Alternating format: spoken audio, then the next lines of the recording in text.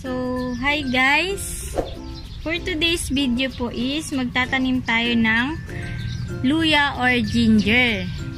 So, naghanda na po ako ng paso na may lupa. Ito pong lupa na ito ay mixed soil. Tapos guys, ito ay medyo ano na din, medyo may moist or basa-basa pa. Para syempre hindi tuyo yung lupa na pagtataniman natin.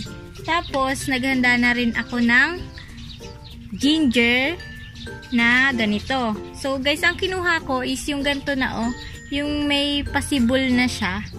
Yan. Para mas mabilis sumibol. Guys, itanim na natin. Hindi ko siya ibabaon ng malalim na malalim. Tapos tabunan lang natin,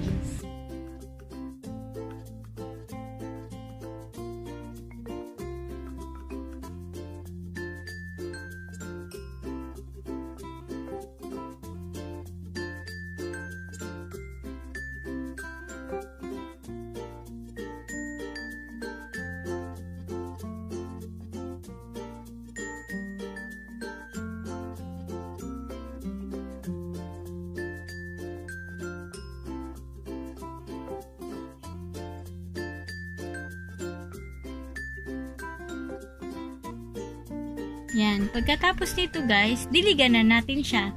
Tapos kapag nadiligan na natin, ilagay natin siya sa malilim na lugar. Huwag sa mainit. Tapos kapag natuyo guys yung lupa, diligan ulit natin kapag ano, hindi hanggat di pa siya sumisibol. Kailangan pa rin natin siyang diligan. Para mapanatili yung medyo basang lupa.